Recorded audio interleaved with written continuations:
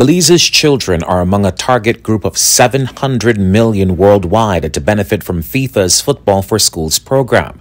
The program is designed to help students learn values like sportsmanship and other critical life skills. This project seeks to incorporate football in schools during PE activities that will not only transcend way beyond physical activities and mental health promotion, but will expose our boys and girls to a range of vital life skills, which in effect will develop our children's psychosocial and social emotional capacity, which includes intrapersonal and cognitive skills, good sportsmanship, self-confidence, self-respect, self-control, self-reliance, awareness, critical thinking, decision-making, effective communication, and gender equity and equality.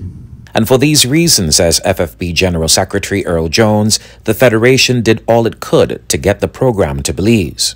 After reviewing the program, sharing with the executive of the Football Federation, our directors, and other stakeholders, we were convinced that this program would be a lasting legacy to leave with our children within this country, to leave for our players in this country. FFB was convinced that this Football for School program must be brought to our shores.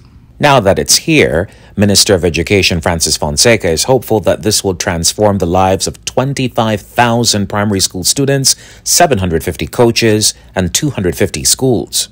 The Football for Schools program is about making football more accessible to boys and girls across the world. By incorporating certain football activities in our curriculum, we can promote specific life skills and competencies in our students, which will help them to be better, more productive citizens of Belize. FIFA representative Fatimata Sidibe added that the plan is to replicate the success that is anticipated in Belize in other parts of the world. Football for School brings the positive value of football into the education and development process for our children. It keeps a positive and enthusiastic attitude. It challenges children in a playful and delightful way, and it empowers children to make their own decision and to take responsibility, but in a responsive and supportive environment.